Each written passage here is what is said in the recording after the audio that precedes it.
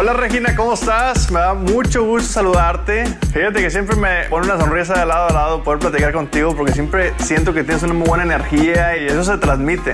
Me voy a cambiar ahorita un poquito de, de, de español a inglés. Your racing career has been happening very good. You know, you've been successful in, in, in Mexico, in the Truck Series, in, in NASCAR Mexico. Now you're making that transition. How you feel that things have helped you from NASCAR Mexico to the US and, and all this adaptation that has been going on so far? Well, I feel like in the beginning it was very hard, especially because of the language. I remember my first day at the shop, I was like, oh, this is easy.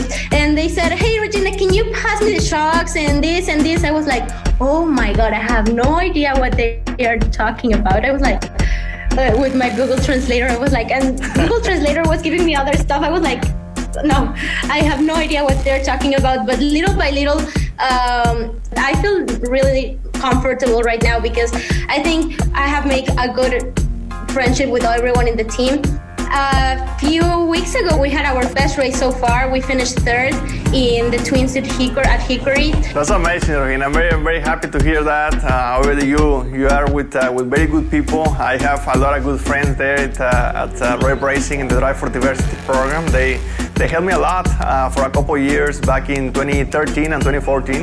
Of course, I think that I'm following your steps little by little, and that makes me so happy because I think I'm understanding better everything um, about my car, about the tracks, about my crew, and also talking about a little about Mexico. Yeah, last year we finished third in the championship. Uh, we had a, we had very good races. We won two out of 12, but uh, we finished in some podiums too.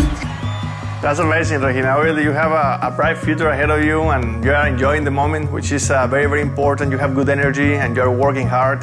Uh, talk to me a little bit about your goals. How, how you see all these goals coming along and, uh, and where you are moving forward. Well, next year I'm doing Rev Racing again in the program of late models, but of course, after the next year, I would love to be uh, to do like my next step that would be ARCA.